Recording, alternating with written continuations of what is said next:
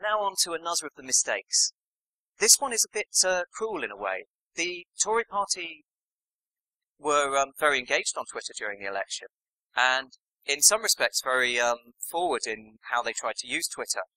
Um, they they obviously looked at how people were using Twitter, tried to use it in the you know best practice manners, and failed abysmally. Um, and where they went wrong is they didn't think about their audience. They didn't think about. They had this nice idea in the planners' heads about how these campaigns would run, but then it went out to the people who were actually on Twitter, and the people on Twitter had a very different reaction.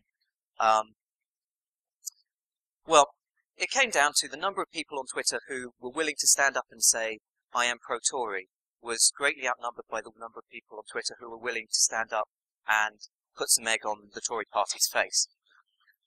So they ran, um, uh, this one was particularly disastrous. This was a hashtag campaign. They were trying to create a, a forum and a discussion around um, it was called Cash Gordon, and it was around donations to the Labour Party and Labour Party money. So they were trying to create a, a counter response to uh, the um, Lord Ashcroft discussions that were going on.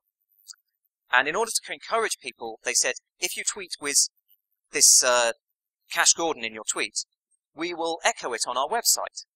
So we're going to give you some uh, some publicity and some love, and you'll feel uh, you'll feel engaged with us. This is something other people have done quite well. Um, I've run a campaign for a charity that used this to great effect. Here, though, it got used to attack their website, um, especially when it was found that there was a security hole in their website, which meant that you could take over this Tory party website. Um, and within hours, this website was covered with insults to the Tory party, redirects to, um, well, redirects to the, their opponents, um, and also redirects off to porn sites, they just didn't anticipate that, well, if they'd thought for a second, they'd have realized there are people out there who don't like us and who will use this. Ditto when, um, so they had things like David Cameron is a, uh, flashing in giant letters over the web.